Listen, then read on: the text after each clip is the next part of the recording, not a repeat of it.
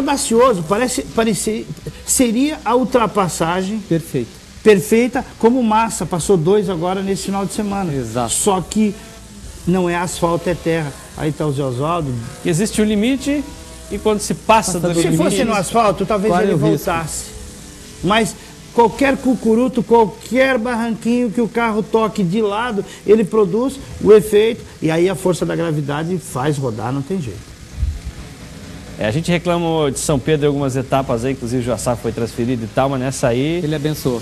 abençoou, porque choveu, fez sol, é tudo que uma pista de, de terra quer. É um pouco de chuva e depois o sol em cima. Nota mil pela pista, nota mil para os or- organizadores. Tá show de bola, show de bola mesmo. O clube fez um trabalho fantástico. Rorato, presidente, seu Zonta, é, trabalhando fantástico, Vilamir, é, todo o pessoal, Branzales, que daí o seu, Zonta, que era o preparador lá da pista, teve que fazer uma viagem lá urgente. O, o- assumiu aí o Jorge já, saindo, acavalou. Foi embora, o Jorge Rui estava em segundo lugar. Destacar a grande prova do Juca Lisboa, carro número 1. Também do Leomar Fendrich, carro número 7, que a gente viu há pouco ali brigando por posição. Próxima etapa em São Bento do Sul. São Bento que espera aí os grandes feras para a próxima etapa do Campeonato Catarinense.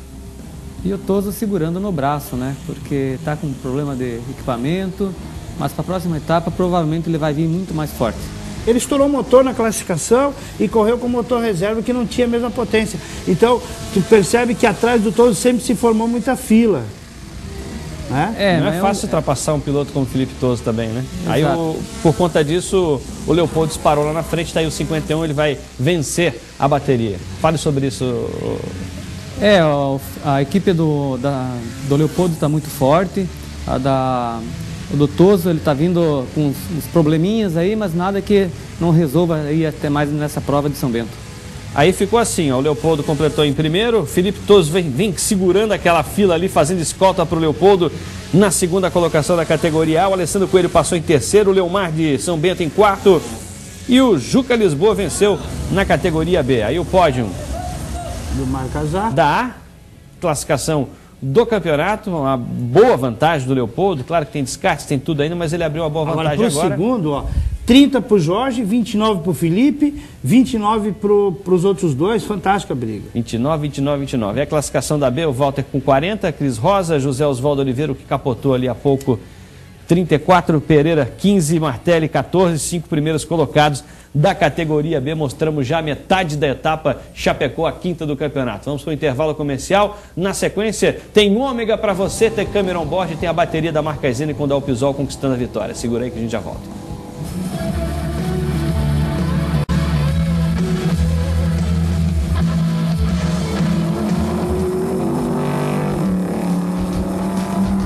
Legal, estamos de volta com velocidade, mostrando a quinta etapa do Campeonato Catarinense de Automobilismo. Chapecó aqui comigo, Dalpisol, vencedor da categoria N, Rogério Enek, nosso comentarista. Na tela, a bateria da categoria Marcas N. Fala da largada aí, Dalpisol. É, a largada foi tranquila, né? E, mas muito disputada no decorrer da corrida. O Pavan vem muito forte, vem muito forte no campeonato aí, estamos chegando na metade, né? E o pessoal todo aí atrás, entre os seis primeiros que estão disputando, estão muito fortes. Diferença mínima de um para o outro. Vencedores diferentes a cada etapa na categoria Marcas Isso que é importante, né? A gente vê, às vezes tem uma categoria como, por exemplo, a Opala, que não tem culpa que o Márcio está andando muito na frente, ganhou as cinco do ano. Na Marquezine, eu acho que quem ganhar duas vai ser campeão. É, a- a- talvez não, né, Lino, por causa que todo mundo que está andando Tá bom, entre- três. É, talvez, né? Não, mas é muito disputado aí. Todos eles têm chance de, de, de ser campeão, independente de quem está andando na frente ou não, né? Ah, são mu- muito competitivos, está um nível muito alto, assim, de, os pilotos se respeitando mesmo, né? Então, ó, o Bassani Rodou naquele trecho que você falou há pouco. muito forte lá de trás. aí passou da freada, foi. Teve habilidade para trazer o carro de volta. Agora, quem está com cabeça nesse campeonato, não desmerecendo o Davi aqui, Davi não teve grandes acidentes, e sim teve problemas mecânicos em algumas etapas, é o Thomas Schwartz. Ele vem, pontua em todas, se dá para ganhar, ganha. até agora não foi, mas tá ali, marcando pontos em todos, vocês vão ver no final, tá liderando o campeonato. É o 29. O cabelo, ó. Adailton Ramos, Esse aí que foi aquele que capotou em Joaçaba, o telespectador Adailton Rames, saber aquele que Já voou venceu. alto em Joaçaba. Ganhou Ele a ve- primeira etapa do ano, não ganhou mais. ganhou, capotou e depois teve problema. Quer dizer, não adianta querer buscar. O Davi é outro que, que, que já, já, já aprendeu um pouquinho essa regularidade. Vai até onde o carro dá, vai até onde dá a pista. O terceiro de hoje é importante para o título no final. Juliano Rigon. Eu, eu fui com o objetivo de acabar a prova, né? Porque eu tive um péssimo resultado em Joaçaba. Então você começa a perder, perder resultados e tem que ser constante que nem o Thomas, né? Que nem o Bassani. E eu não estou tendo essa constância, então eu procurei administrar a prova, né?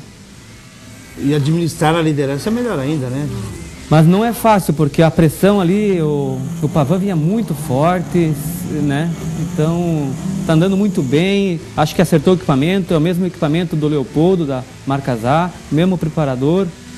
Então, ele tá vindo forte, né? Ele cresceu como piloto, a equipe também cresceu muito. Aí o Josias Ismério. O conjunto, né? Porque um só não faz a diferença, né? Queria dar os parabéns para a Incregel, lá de Balneário Camboriú, que veio, está patrocinando três ou quatro carros. É, isso é muito legal, quando um patrocinador acredita no campeonato, assim como a Motu agora acreditou, está vindo, é um novo, novo parceiro até o final do ano. Então, é importante que as pessoas acreditem. Então, eu quero dar os parabéns aí, está com o Josias Ismério, está com o pessoal da Ômega, está também com o próprio Rafael Uber. Muito legal aí o pessoal da Incregel, que venha mais gente empolgada e que goste do automobilismo. Aí o Bassani pra cima do Simeone. Bastante era líder, agora ele deu aquela rodada, foi lá para 14 e acabou a prova ainda em oitavo. Agora ele está em terceiro no campeonato. E aí o 29 que a gente falou, Thomas Schwartz, vem levando na ponta dos dedos ali, ele vai terminar na terceira posição. Você veja que é, os quatro primeiros ali, eu, o Pavan, o Thomas o, e o Branquer, da cidade de Joaçaba, Aí o acidente, ó. Só te interrompendo um pouquinho. Aí a capotada Jean do Jean Moraes, São carro Bento do número Sul. 13. O Jean Bassani. perdeu lá atrás, perdeu a freada, Vitor me corrija. E aí ele foi escorregando, escorregando. Na hora de trazer o carro, ele traz o carro para frente do, do e daí eu não tenho que fazer ah, o toque. Para mim, acidente de corrida não há culpado. perfeito, Rogério, perfeito. Também acho. Aí bandeira branca, é claro, vai entrar o safety car na pista para tirar o carro do Jean Moraes. Foi aí que me deu refresco, né? A partir da entrada do, do safety car, que eu consegui me soltar um pouco mais, né? E consegui aqueles dois segundos e meio que foi a, fez a diferença da tranquilidade, ó. É, já abriu um pouquinho. A gente acha que tem um espaço enorme aí, mas você vê o resultado da prova, deu dois segundos e meio. É Uma- que o Thomas botou uma pressão muito grande para cima. E olha como vinha o Celso Branquera ali em quarto, babando para cima do terceiro colocado. O Bruno, o preparador dele lá, também está crescendo. Eu gosto muito de falar dos preparadores. Aí o carro 9, Charles Rampelotti, de Brusque. O pessoal da N está muito aplicado esse ano. Isso é muito bom, isso é, isso é muito legal para o campeonato. Lá 84 aí. Que... escapou lá o 84, o Felipe Miller. Foi embora, a câmera foi buscar o carro dele fora da pista, tudo certo, tudo bem. Muitos acidentes, importante a gente registrar que todos saíram bem, exceto o Diego que teve um capotamento, uma infelicidade no treino classificatório e acabou indo parar no hospital, mas está tudo legal com ele já. Tá tudo bem, graças a Deus. É uma bela ultrapassagem do Adailton Ramos para cima do Gustavo Eli, outro que está forte no campeonato, está crescendo. Olha o cabelo como vem de lado, vem realmente. Dailton Ramos, o popular cabelo. Última volta aí pro Dalpisol. Prova ganha aí só uma quebra para tirar a vitória depois de, de passar a placa, né? Com dois segundos na frente. Você tem que trazer na ponta dos dedos, né? Que nem a Ferrari faz, né? Traz a criança para casa.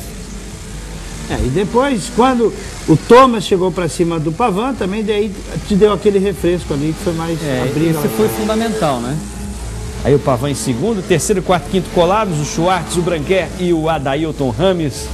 Os cinco primeiros chegando na mesma reta. Isso é bacana, né? Bonito ver os carros chegando muito próximos ao final de 25 minutos de bateria. Não tem nada definido, hein? 34 para o Thomas, 31 para o Dalpisol, 31 para o Gustavo Eli, que eu falei que vem bem, o, o Juliano Bassani com 30 e o Pavan